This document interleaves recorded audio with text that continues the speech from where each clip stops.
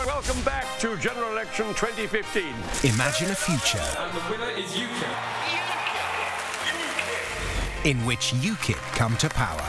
Nigel Farage has declared victory. See uh, the new Prime Minister driving in. It is a disappointing result. It is gutting. We've been told that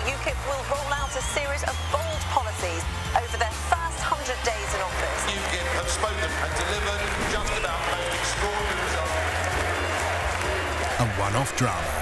UKIP, the first 100 days. Monday at 9 on 4. I'll promise you one thing. You ain't seen nothing yet.